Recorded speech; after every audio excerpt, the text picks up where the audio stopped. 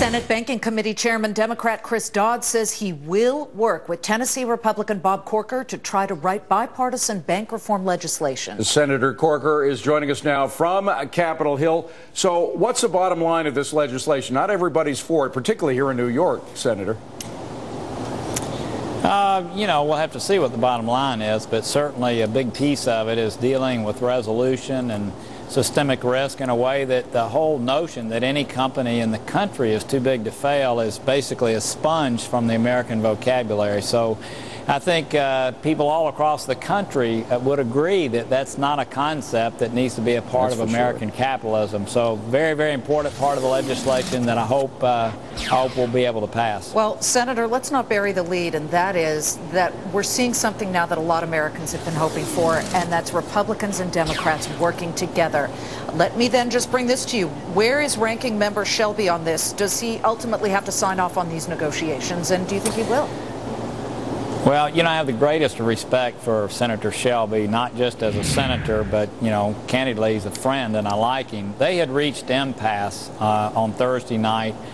It's happened uh, a couple of times. Uh, Senator Shelby's staff was writing their own bill. Senator Dodd's staff was writing their own bill. Obviously, uh, that's the makings of a legislative train wreck, and I just feel like we've had a lot of bipartisanship on this bill. This is something that that all Americans ought to be able to join in and support. Um, I hope that we're able to bring a lot of people on board over time, but certainly something that I believe is important to our country and needs to be done. So, how do you prevent financial institutions from getting bailed out, from getting a piece of either the Federal Reserve Board, which was originally supposed to just bail out uh, safety deposits, uh, savings deposits? How do you keep it to what it was intended? Not getting the taxpayer to bail out the, the Wall Street yeah. financiers. You know, if you think back about what was said during the time that TARP was discussed and all of that, there wasn't a resolution mechanism for these highly complex financial institutions to fail.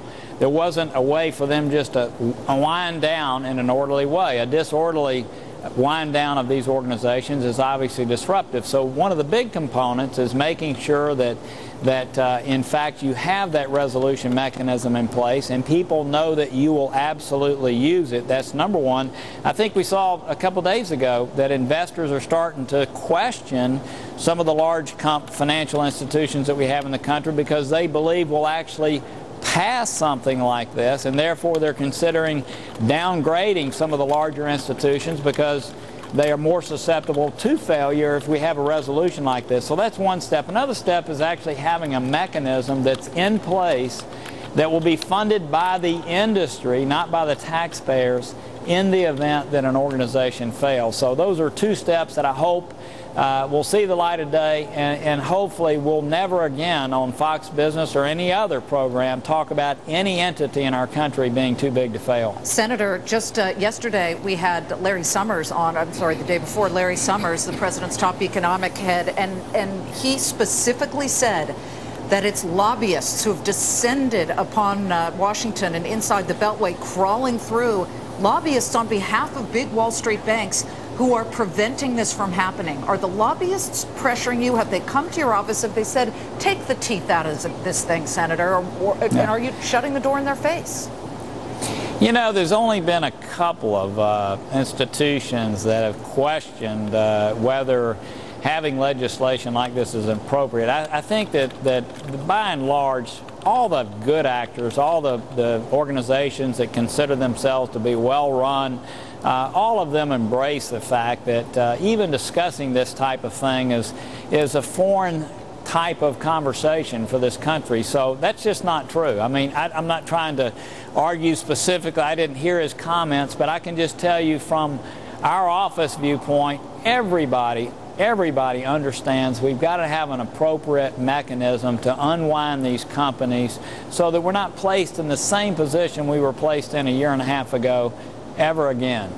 About a week ago, Paul Volcker, the hero of, of squeezing inflation out of the economy about 20, 30 years ago, came out with his concept, which was essentially going back to the days when we had this separation between commercial banks and financial institutions. That as a means of protecting the taxpayer from bailing out the rich guys. Are you in favor of Yeah. that or, like your associate Chris Dodd, against it?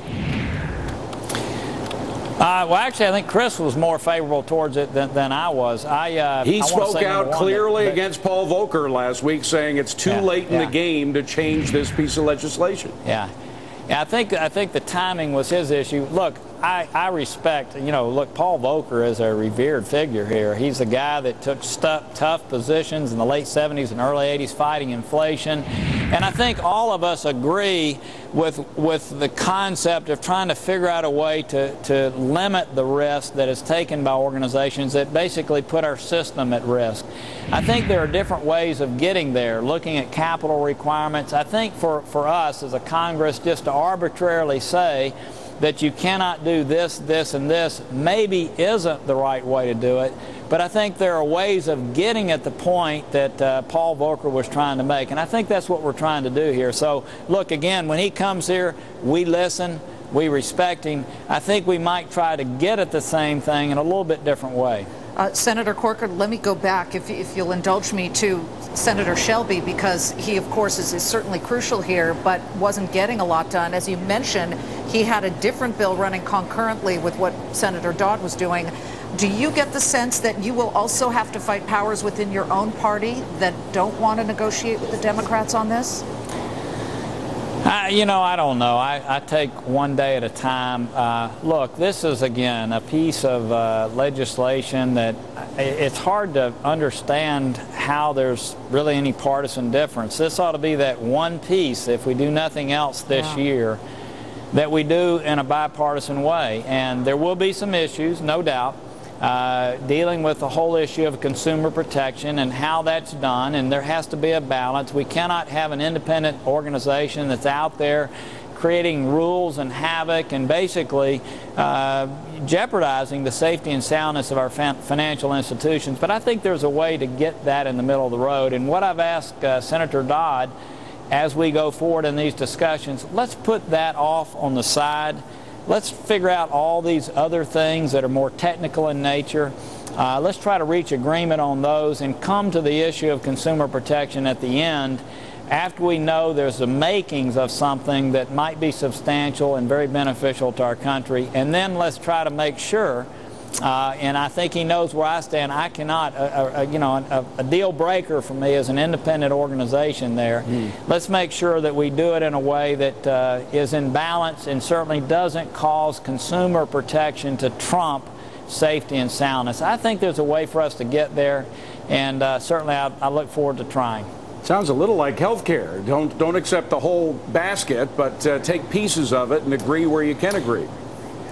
That's exactly right. Listen, one of the things that, that we definitely need to do on this bill is only focus on the things that need to, be, be done. done. Right. Sure. And I think we I think we're committed to making sure this isn't a Christmas tree uh, where you end up with all kinds of things that are unnecessary. Exactly. So I think that's Yeah. where Washington gets out of hand trying to do too much at one time, and I, and I thank you for bringing that up. Senator Bob Corker of Tennessee. Thank you, Tennessee. Senator. Thank you.